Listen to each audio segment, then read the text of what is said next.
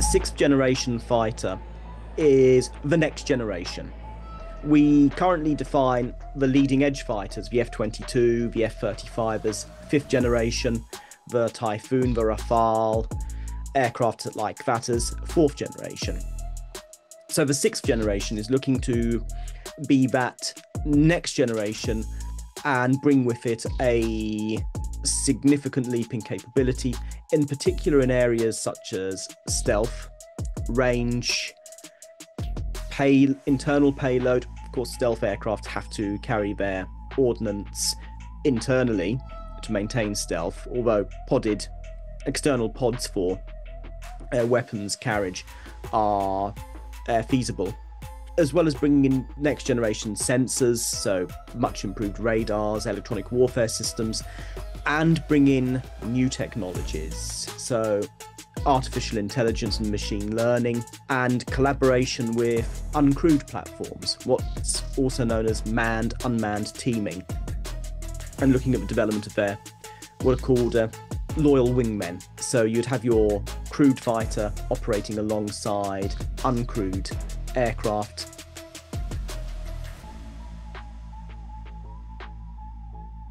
AI would look to assist the pilot in terms of the overall picture of the battle space that these aircraft will be operating in. Already, something like the F 35 has tremendous uh, computing power and its sensors are hoovering up vast amount. And sixth generation aircraft will build upon that and the vast amounts of data that these aircraft would be gathering whilst operating within the battle space. AI would look to enhance how that data is processed and bring it to the pilot as well as using AI, for example, in AI enabled weapons such as the MBDA Orchestrike. So you have smart weapons which can commu- communicate with each other within the battle space and they can adapt in flight their targeting, their routing. So it's bringing in a quantum leap in performance in what your aircraft can do, in how weapons integrate, and how aircraft, both crewed and uncrewed, operate together and with wider assets.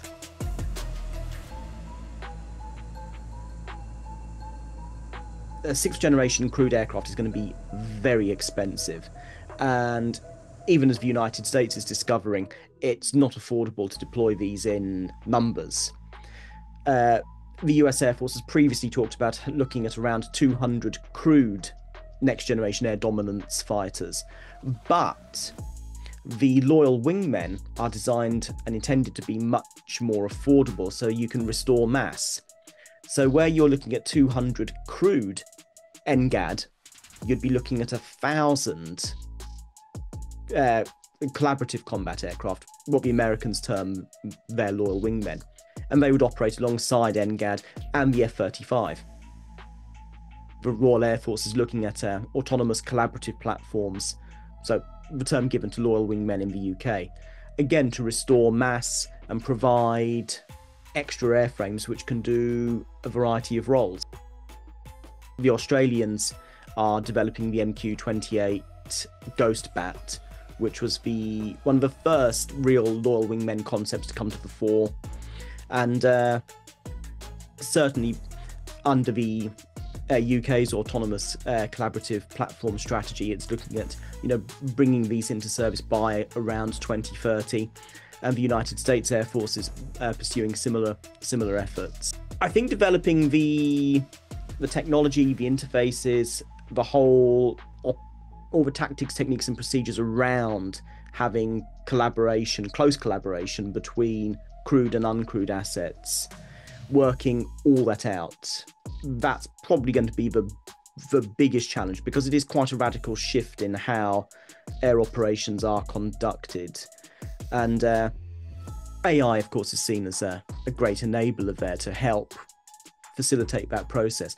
But it, it's something that's going to require experimentation and uh, a, a lot of a lot of development.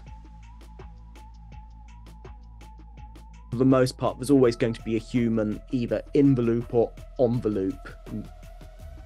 Other countries, Russia, for example, uh, may view things differently and allow autonomous uh, platforms to engage. But I would think that Western countries will keep things much more with a with a human involved in decision making, and involved in decision making. Thanks for watching. For more from Forces News, like and subscribe to our channel.